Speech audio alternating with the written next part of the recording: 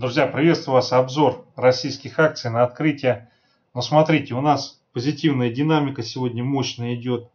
S&P аж выше 3000 скаканул. Китай тоже в плюсе. Э, ну, как видите, тут война войной, а рынок рынком. Имеется в виду Китая и США. Так, ну смотрите, у нас по Сберу наиболее вероятно, с утра мы вот прямо сразу гапанем, я так думаю, и возьмем вот эту цель, оранжевую линию, сильный уровень, который давно нависает. Далее, если мы сюда приходим, у нас открывается портал возможностей, незакрытая цель. Первая вот здесь проходит. И следующая цель, если мы здесь закрепляемся, которая давно висит, она проходит вот здесь вот. То есть я думаю, с утра будет наиболее вероятно гэп вот сюда вот. И по факту здесь закрепление, движение с целью отработать вот это значение. Вот. Если с утра что-то пошло не так, и мы все-таки пробиваем вот этот диапазон, надо помнить, что здесь процесс вероятностный. А, Ванга бы здесь не, не смогла, не ужилась. Поэтому все может в какой-то момент идти вспять. К этому надо спокойно, по-философски относиться. Стопы ставить и все. И мириться с этим. Так. Ну смотрите, если на открытии пойдет вот пробитие этого значения, то следом отсюда будет попытка остановиться вот здесь вот. Если и здесь не задерживается, у нас есть волшебный уровень, который находится вот здесь. И вот пробитие уже этого уровня унесет его далеко вниз. Сейчас у нас все оптимистично, то есть с утра, скорее всего, мы пойдем вот, эту, вот этот уровень пробивать, и дальше у нас на повестке дня будет стоять уже движение вот сюда. Вот. Собственно говоря, в конце дня мы вот это движение увидели, единственное, только он не вполне уверенно пробил вот эту границу и закрепился. Здесь у нас ближайшая цель движения это по часовику теперь смотрим. А, взойти на этот уровень и здесь закрепиться. И дальше, как только здесь закрепляемся, отработка цели по часовику, вот она четкая цель, это диапазон. Я думаю, сегодня при такой нефти мы так или иначе этот диапазон отработаем. Ну, как минимум, с утра вот, вот этот вот барьер возьмем. Дальше уже по ходу пьесы, если как минимум сохранится текущая цена на нефть без откатов, то мы увидим проторговку в этом диапазоне и потом попытку закрыть вот эту цель, вот этот диапазон. Если все-таки, если все-таки мы э, не пойдем э, штурмовать вот этот диапазон, то мы остаемся, скорее всего, вот здесь вот торговаться. Вот. Ну, движение вниз, оно, конечно, возможно. На дневках я цели расписал. Но я думаю, при таком раскладе движение вниз, оно крайне маловероятно. Здесь, скорее всего, будет сразу движение вот сюда вот. Менее вероятен диапазон, то есть консолидация вот здесь вот.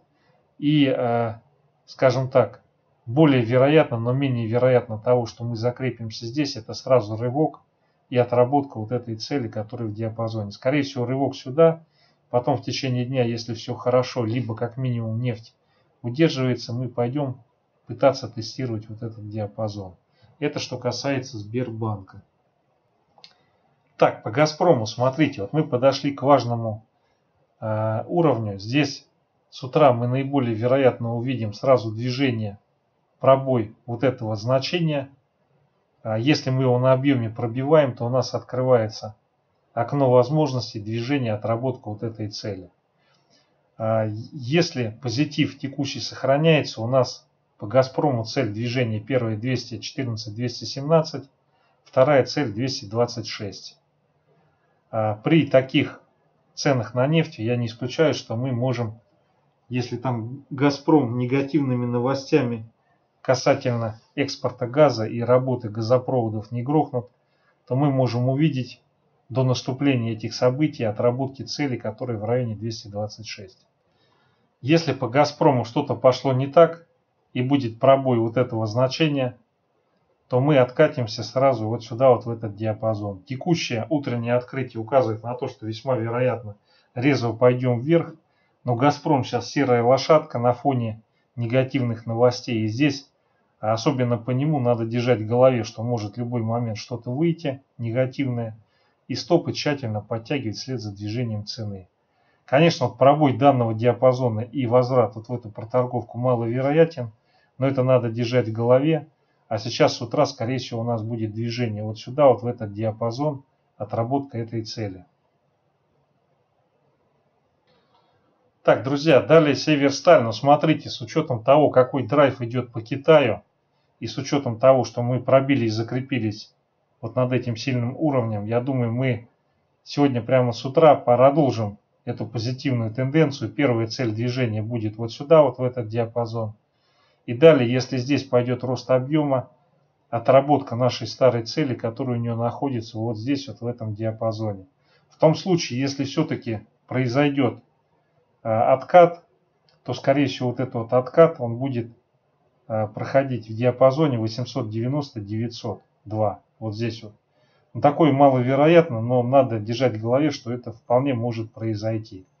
А так, скорее всего, мы рванем дальше первая цель, вот она.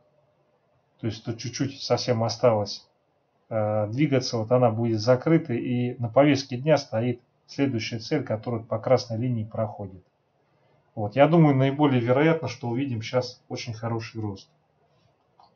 Так, друзья, далее ГМК, смотрите, у нас Палладий сегодня с утра проявляет чудеса полета, поэтому высока вероятность того, что мы по ГМК прямо с утра либо сразу с гэпом откроемся вот на этот уровень. Или мы сюда постепенно заползем и начнем проторговываться. У ГМК есть цель, которая не закрыта, она находится вот здесь. И высока вероятность того, что на открытии мы сначала вот сюда вот гапанем, и потом попытаемся забраться, отработать эту цель. В том случае, если что-то пошло не так, то при пробитии вот данного значения мы уйдем торговаться вот в этом диапазоне. Такая вероятность имеет место быть, к сожалению. Тем более есть цель, которая находится вот здесь вот. Но вероятность данного процесса, она не столь велика. Так, друзья, далее Росгидро. По Росгидро у нас с утра, скорее всего, будет сразу движение на пробой вот этого значения. И далее отработки цели, которые у нас запрятаны вот здесь вот в этом диапазоне. В том случае, если что-то развивается не так, то пойдет пробой вот этого диапазона, и после этого пойдет возврат вот в эту консолидационную область. Я думаю, по Русгидро, так же как по другим инструментам, высока вероятность того, что мы увидим позитивную динамику с утра.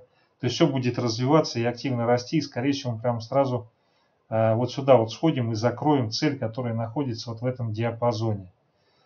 Нефть растет, Америка растет, Китай растет, а, здесь, я думаю, даже сегодня вот мы вот эту цель потрогаем или, возможно, даже пробьем. Так, далее Роснефть. Ну, смотрите, по Роснефти тут наиболее вероятный сценарий – это возврат тестирования вот этого значения и по факту закрепления здесь пробой и движение выше э, вот этого значения, которое здесь установлено. Вот. Если закрепляемся выше этой линии, это очень позитивный знак.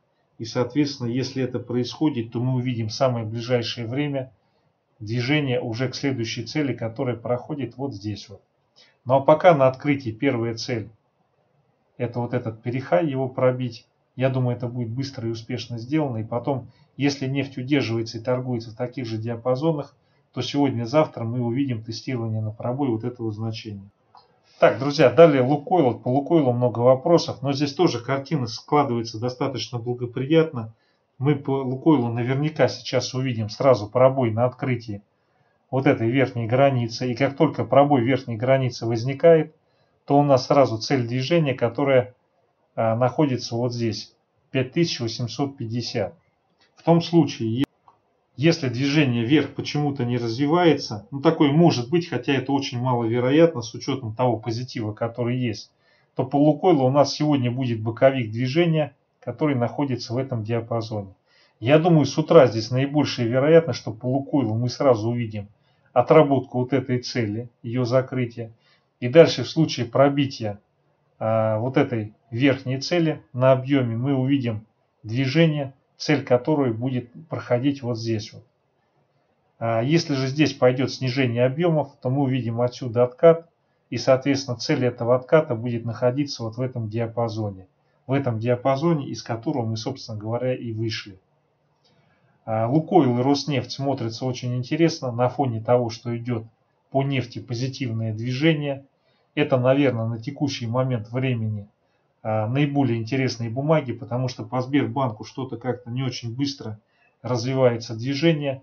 Видимо, его слишком сильно отлили и пока не собираются разгонять а, ну, в соответствии с той ценой на нефть, которая на текущий момент времени установилась. Так, друзья, ну это обзор ключевых бумаг, наиболее ликвидных, наиболее интересных с моей точки зрения. Спасибо за внимание.